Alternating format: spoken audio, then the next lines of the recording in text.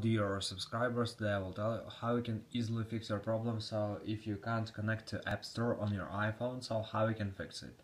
So mostly it happened because you have problems with your internet. So first thing, just check your internet connection. So just go to the settings. In the settings, you need to find your Wi-Fi. If you're using Wi-Fi, just turn it off and turn on again. Also, you can do it with mobile data. Just turn off and turn on again your mobile data. After you can try to turn on airplane mode, wait a few seconds and just turn it off.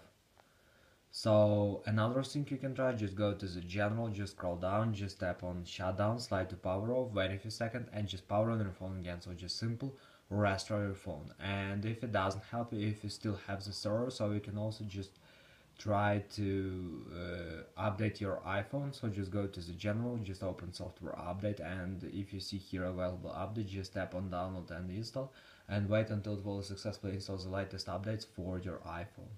So this is a way how you can also do it. So thanks for watching. Have a nice day. Subscribe to my channel. Click like and goodbye